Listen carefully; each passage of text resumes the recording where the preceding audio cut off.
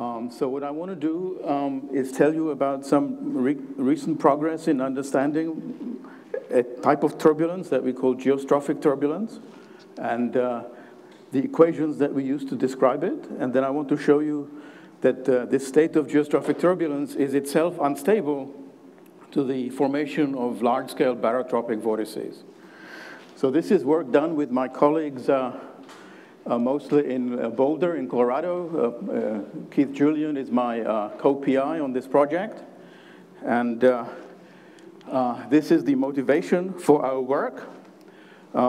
so we're interested in studying large-scale structures um, in, the, in the Earth. So this is the standard kind of uh, problem that is described by the equations of uh, quasi-geostrophy that we heard about in the previous talk. Uh, so here is the eastern seaboard of the United States. Here is the Gulf Stream, and you can see the Gulf Stream forms these large meanders.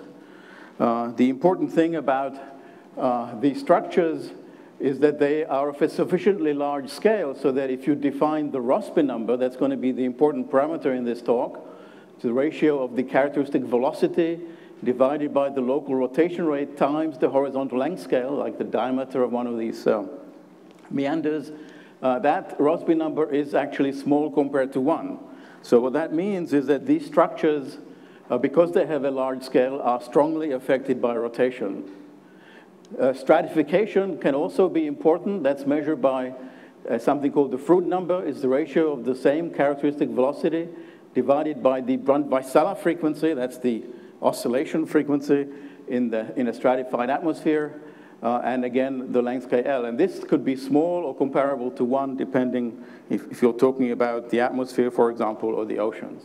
Now, the important thing for quasi-geostrophy is that you make this assumption, namely that the height of the layer that you're interested in divided by L is small compared to one. And of course, that's good for the oceans. For example, typical depth of the ocean is, say, four kilometers. Uh, these uh, meanders may be uh, 100 kilometers across. So H over L indeed is small. And that's the basic input that goes into quasi-geostrophic approximation.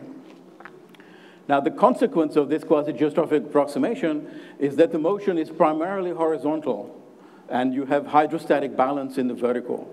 And that's very restrictive because you cannot, using that kind of theory, describe convective phenomena. And convective phenomena are important in a variety of uh, uh, contexts in the atmosphere, for example, formation of cumulus clouds, or the downwelling of the thermohaline uh, circulation in the Labrador Sea, things of that type.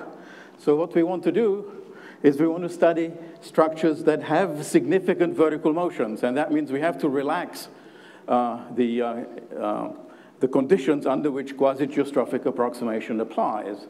So I'm going to be studying things like this. For example, I have a descending plume. This, like, this could be in the thermohaline circulation in the Labrador Sea, and it's descending, it's quite narrow in the horizontal direction, and it's extended in the vertical direction, right? So it's a columnar structure. So the aspect ratio now is quite different from the previous pic picture. I have H over L comparable to one or greater than one, right? So these are gonna be thin structures and tall in the vertical. But we're gonna do the same kind of analysis that you use for quasi-geostrophy, so we're still going to assume that the Rossby number is small on these scales, and that's reasonable actually for this particular example, where the Rossby number is about 0.2, uh, and again, we're going to uh, uh, have some kind of Froude number describing stratification. So these kinds of structures have been studied by many people, and I just want to show a couple of pictures from a very nice experiment by Sakai, published uh, already uh, 20 years ago. So I have, this is a side view of a rotating tank It's rotating about the vertical direction, It's visualized through a suspension of liquid crystal. The liquid crystal has the unfortunate property that it turns red when the liquid is locally cold. Sorry about that. Uh, and it turns blue when it's warm, okay? So, uh, so these uh, red structures are not, uh, you know, hot descending plumes or something like that. They are actually uh, rising, um, excuse me, they're descending cold plumes. So, but this is a column, it's a vortex, and here is another uh, vortical structure that's rising because it's blue, it's warmer, right? So I have these structures that penetrate from uh, top to bottom and bottom to top.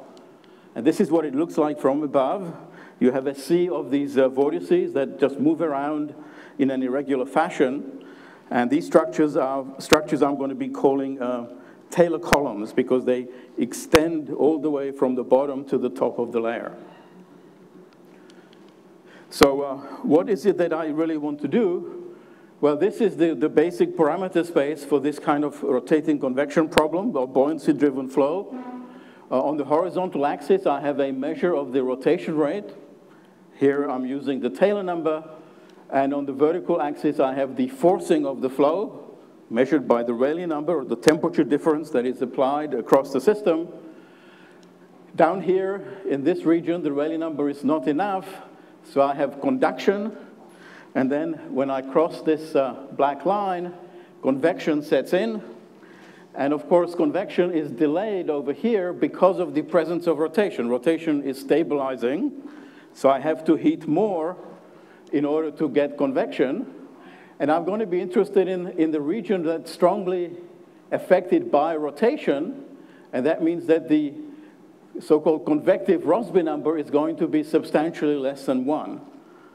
And so that means if I calculate the Rossby number by calculating the typical velocity that's driven by buoyancy and use that to define the Rossby number, uh, then Rossby number one is along this dashed line, Rossby number 0.01 is along this line. I want to go into in this region, and of course I have to heat more and more strongly in order to uh, get convection in the first place, right? So I'm going to be interested in the rapid rotation strong heating limit, right? That's this region here. Uh, Sakai's experiment barely get into this region.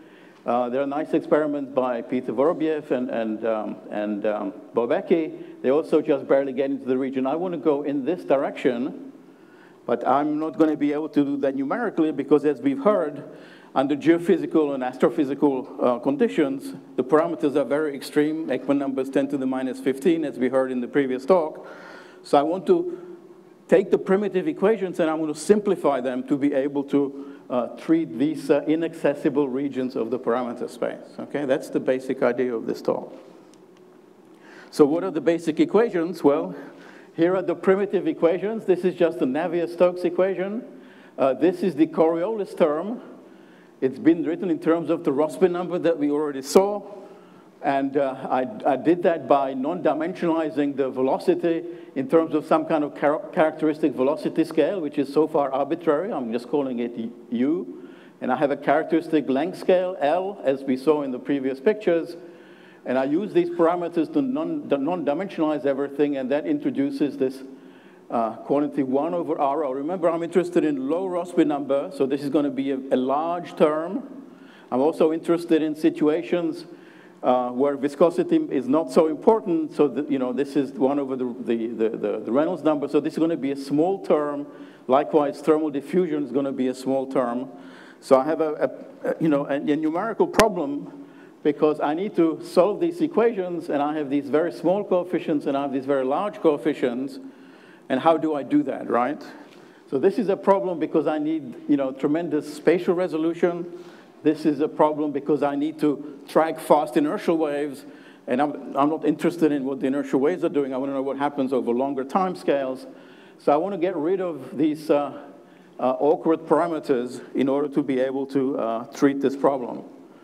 And the way we do that is through an asymptotic expansion that simplifies the equations of motion. And this is the basic idea.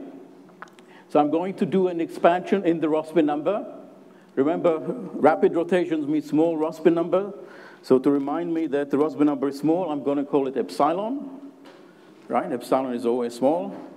Uh, and uh, in order to make progress, I need to link the uh, horizontal length scale to the vertical length scale through and some kind of assumption that depends on epsilon, and the one that actually works is h over L is 1 over epsilon, right? 1 over epsilon means that the horizontal scale is epsilon times the vertical scale. So that's exactly these columnar structures uh, that I uh, showed you on the previous slides. Okay?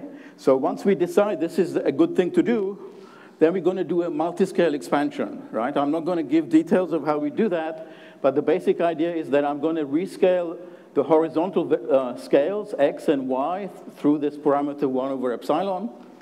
And of course, because it's going to be a three-dimensional flow, I also need a similar term for the vertical direction. But I'm driving the system over these very long scales in the vertical, right?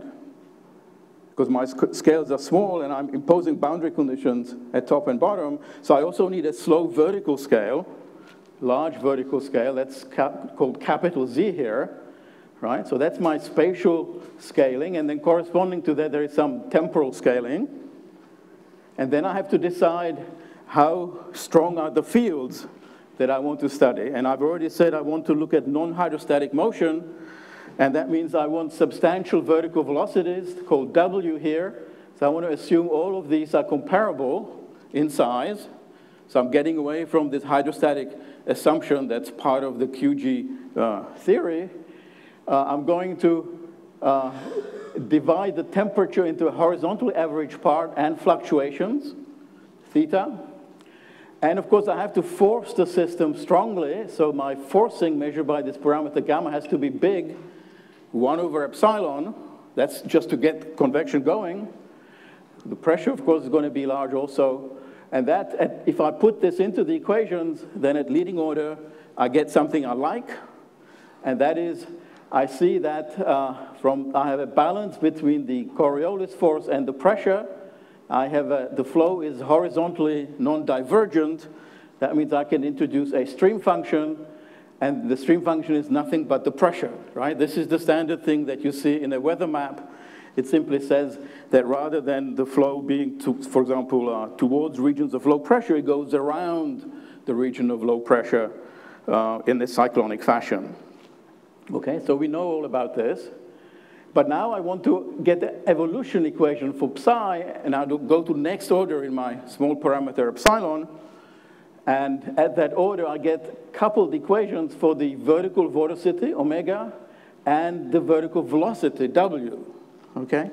So in this equation, I have an equation for omega.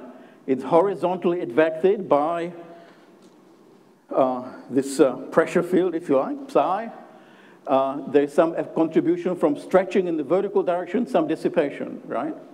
I have an equation for the vertical velocity W. It's horizontally advected. This is nothing but the vertical pressure gradient. Remember, psi is P. I have some buoyancy forcing, and I have some dissipation, right? And then uh, that's still not enough because I don't have an equation for theta, so I have to go to yet further order in epsilon, and uh, that's why I'm not giving you details. And uh, then you find that theta is, again, horizontally advected. There is a contribution uh, to the thermal fluctuations from the vertical advection of the uh, uh, vertical gradient of the mean temperature, some thermal diffusion.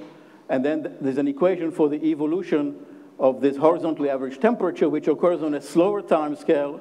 Here is the vertical heat flux and some dissipation, okay? So those are the equations that I get. The nice thing about these is they are actually a closed set of equations, right? If you make other assumptions, you would not necessarily get closed equations. So I'm going to uh, rewrite them in a way maybe that makes them a little more familiar, and that is I'm going to make a choice of the horizontal scale L, and I'm going to pick the scale that's predicted to be the one that first sets in, when I cross the threshold for convective instability. And that tells me that this uh, epsilon that I picked is actually Ekman number to the one-third, okay? So here's the definition of the Ekman number. Ekman number is small when rotation is large, okay? And then also I'm going to pick a characteristic uh, velocity scale, the viscous scale, and then the equations look like the equations for Rayleigh-Benard convection, more or less. Uh, here are the equations for the vertical um, uh, vorticity omega, equation for the vertical velocity. Here is the buoyancy term. Notice you have this combination of large RA, small e. I'm assuming this is of order one to drive turbulence. Uh, and then I have uh, an equation for the temperature fluctuation and for the evolution of the mean uh, temperature. And there is a new parameter that appears it's called sigma here. That's the Prandtl number. It's the ratio of the viscosity to thermal diffusivity. Um, I'm going to vary that parameter, but for water it's 7, for air it's roughly 1. So that's typical values of, of, of sigma. The point about this is that there are no small or large parameters anymore, right? So these equations are easier to time step. That was the whole purpose of doing this calculation. And the same expansion also gives you boundary conditions. Turns out the boundary conditions are nice. They are free slip boundary conditions at top and bottom that are consistent with this asymptotic limit. And uh, the other thing I want to say about these equations is that they are quite interesting because they actually have two reflection symmetries. And so there's actually no asymmetry between cyclonic and anticyclonic motions in this rapid rotation limit. And so the first prediction I would make is that in that limit, you should see equal numbers of cyclonic and anticyclonic vortices. That's to be confirmed experimentally, perhaps, although there's some evidence that that is in fact the case.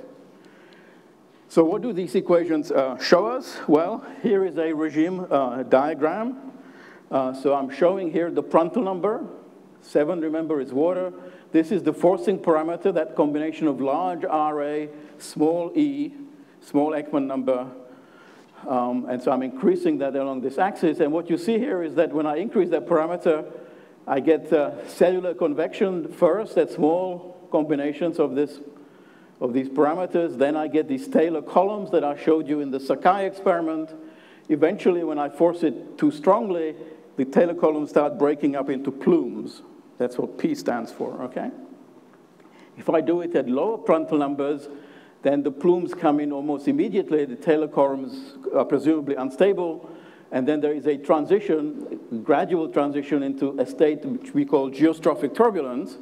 So it's a turbulent three-dimensional state but on all scales of the motion, I have geostrophic balance. That's the balance between the Coriolis terms and the pressure gradient, okay? On all scales. So it's not the usual kind of turbulence. Sorry. Oops, I'm going in the wrong direction here. I just want to show you uh, some pictures of what these states look like. So on the left, I have Prandtl number seven. I'm increasing the Rayleigh number going in this direction. These are the Taylor columns. Here are the plumes. They detach from the top boundary, for example, the cold plumes, and start descending, but they no longer make, make it all the way through, okay? So I'm calling them plumes. Likewise, I have hot plumes that detach from the bottom. They start rising, don't make it all the way, okay? So that's the plume regime. Here is the corresponding thing for a particular choice of this parameter RA, varying the Prandtl number and when the Prandtl number is large, let, well, of comparable to water, I have these Taylor columns. Then I go into the plume regime, and this state up here at low Prandtl number is the geostrophic turbulence regime. So this is just a, a snapshot of what that would look like. This is a periodic uh, box computation in three dimensions. Uh, it's a little bit fuzzy, and that's deliberate because this is for sigma is 0.3. So thermal diffusion is stronger than viscosity, and so the thermal field is a little bit uh, uh, fuzzier than the velocity field would be.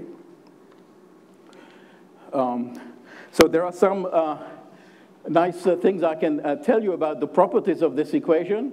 So if, if you take the equation for the temperature fluctuation, multiply by theta, integrate over the domain, you get a nice integral relation. If you look at the saturated steady state, the stationary state of the turbulence, you can integrate the equation for the mean temperature, and then you get um, the equations shown here. There's just a quadratic equation. You can solve it for the um, uh, gradient of the mean temperature, and you get a nice equation. And when this factor vanishes, that represents the boundary between the thermal boundary layer near the top and bottom of the, of, of the cell and the bulk. So we use that to characterize what we mean by the thermal boundary layers, which are still in the system.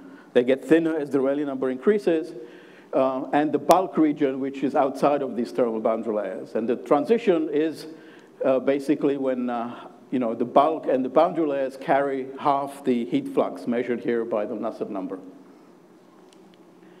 So uh, what about these boundary layers? The boundary layers are important because uh, as I increase the Rayleigh number, uh, they first lose stability when I'm still not very close to isothermal in the core. So this is height, this is temperature. Uh, the boundary layers become unstable here, become unstable here.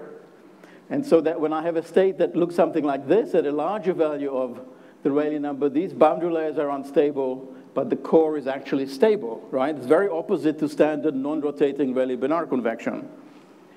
And this just shows the eigenmodes of the boundary layer instability, just to convince you that that really happens. And so we'd like to know something about the boundary layers, because it's the boundary layers that are going to actually um, be very important in the, in, in, this, uh, uh, in the rest of this talk.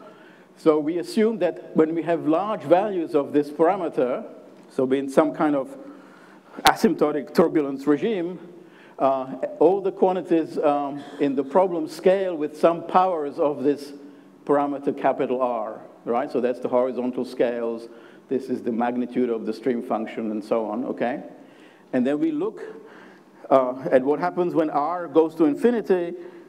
Of course, we can't do that numerically, but we look at large values of R and we want to see if there are any terms that drop out of our reduced equations. And we find that in the boundary layers, they all remain roughly over the same order of magnitude. And therefore, we must have some relations between these exponents, right? And when we uh, put all this together, for example, this is the Nusselt number here, goes like r to the eta minus delta. And if I take this expression for, for, for, for delta and for eta here, I see that the Nusselt number has to go like r to this power, 4s minus 1 okay? And so we'd like to check whether this, in fact, is reasonable and perhaps use numerics to determine S or use theory to determine S. And so here is the uh, numerics. So this is a compensated plot of the Nusselt number. Um, and we see that when uh, the exponent is r to the minus 3 halves, uh, these curves level off as I increase r and therefore that the appropriate power is uh, Nusselt goes like r to the 3 halves, okay? And this shows uh, the different numbers for the different um, uh, leveling off uh, for different Prandtl numbers. For the larger Prandtl numbers, it hasn't leveled off, and that's because I haven't reached this geostrophic turbulence regime. I would have to increase R even more, presumably, to reach that state. So we get this prediction uh, by matching the numerics to the previous theory, and we also have an independent way of, uh, of getting this uh, result. We assume that the Nusselt number goes like some power of, of, of Rayleigh times Ekman number to another power. This has been, this kind of relation has been studied extensively when there's no rotation, so beta is zero. Um, in the case of rapid rotation, the situation is very different from the non-rotating case, and that's because the temperature gradient at mid-height does not saturate as I increase RA. In fact, what happens is that's because of rotation, and so the, the bulk of the, of the layer controls the heat flux. In really non-rotating Rayleigh-Benard convection, the flux is controlled by the boundary layers, the ability of the boundary layers to transport heat. So this is very different. And then if we do use a Kolmogorov type argument, saying that when RA is large, um, the transport properties must be independent of the uh, microscopic diffusion coefficients, uh, it turns out we get a prediction exactly like this, which is what we saw in the numerical um, computations. So that's consistent, that's nice. Uh, and this is just to convince you that what I've just said is correct. So this shows the mean temperature, uh, mid-level temperature gradient as a function of this parameter R. And you see, for example, when I'm in the geostrophic regime, that gradient just saturates, right? Doesn't come closer and closer to isothermal. And this just shows that the the bulk does in fact contribute most of the heat flux. The boundary layers are insignificant. And this is just to convince you that the scaling for the temperature fluctuation for the vertical velocity that we get from that theory are really obeyed in the numerical simulations. Um, here I'm just showing what happens as I vary the rotation rate. So this is the Nusselt number versus Rayleigh number. This is the non-rotating uh, uh, curve that's been studied, as I increase rotation, uh, this thing peels off with different rates as the rotation rate increases. I don't have time to discuss that figure in more detail. So the last thing I want to say uh, is tell you about is the instability of this geostrophic turbulence. Uh, we discovered this um, serendipitously uh, we integrated the equations and we found that things weren't quite saturating. There was a drift. And when we looked at the data, it's always a good idea to look at your data. Uh, we discovered the formation of these uh, large structures that emerge out of uh, the uh, turbulent state. Uh, sorry. so this is what it looks like. So I start with some random initial conditions. I settle towards the saturated state. Here is the drift I was describing. So, and we saw that this drift had to do with, as a function of time, the evolution of these large-scale structures. And this shows uh, the uh, kinetic energy in the three-dimensional fluctuations. I'm going to call those the baroclinic mode or baroclinic state. And this shows the energy in a barotropic state. That's a vertically, in, you know, um, integrated state uh, that doesn't have um, a vertical structure. And you can see that the energy of that state increases continuously as these vortices grow. So this is what they look like, like the turbulent structures that live on top of this turbulent state. And uh, here you can see them penetrating all the way across. So these are the kind of things I'm talking about.